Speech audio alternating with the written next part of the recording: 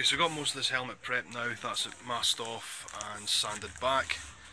And just so that we quick blow off with the gun to get rid of some of the, the debris, which I'll need to do.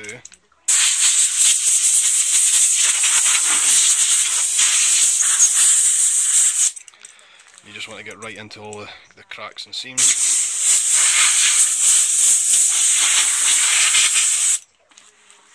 Just blow out as much of that shit as possible. Obviously we'll give this a wipe down with the panel wipe uh, before we prime it and with a tack cloth as well.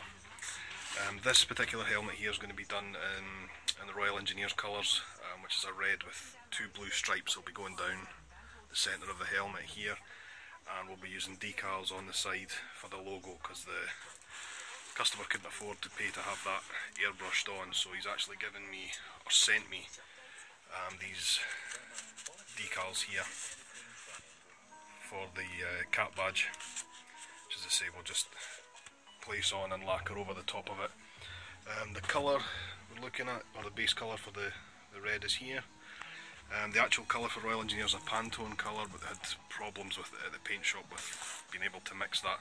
Um, the closest colour we found was, he's written Carmen red here, it's actually Carmen Rot, that's what it will appear on your chips as it's a Renault industrial paint um, for their trucks.